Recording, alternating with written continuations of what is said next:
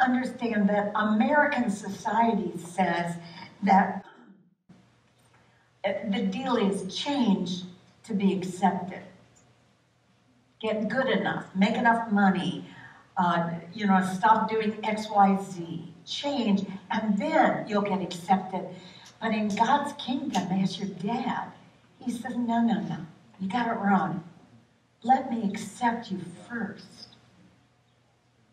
Let me give you all the grace and the power that comes from that unconditional acceptance. And then only through that acceptance will you ever have the grace to change. Don't try to change yourself because you're going to be a miserable failure. You know?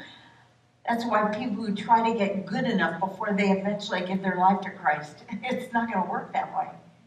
He says, No, you, you don't perform first. Let me accept you. Because that father heart will give you grace to be somebody you could never be on your own.